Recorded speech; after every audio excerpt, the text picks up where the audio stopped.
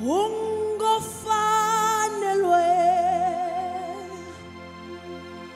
ungofanelwe kuwe wedwa ungofanelwe singayenza nje into emfishane namhlanje sithi ungofanelwe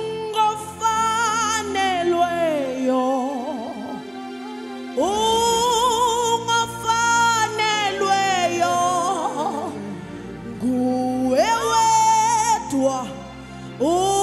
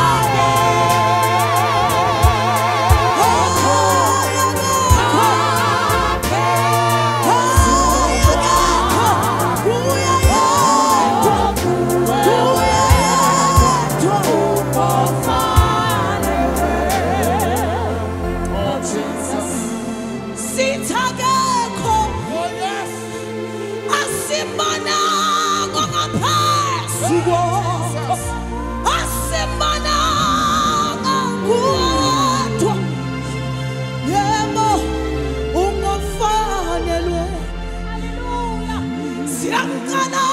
yebo